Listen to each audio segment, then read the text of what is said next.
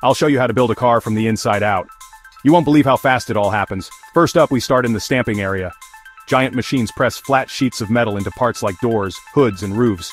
It's like watching a robot orchestra, everything moves with perfect timing. Next we move to the body shop. Robots and workers weld the metal pieces together to form the car's frame. Sparks fly everywhere and you can almost feel the heat. Once the frame is done, it glides down the line to the paint shop. Now comes the painting process. The car gets cleaned, sprayed, and dried in huge ovens. It's like the car is getting a fresh coat of armor. The colors are super shiny. After painting, we hit the assembly line.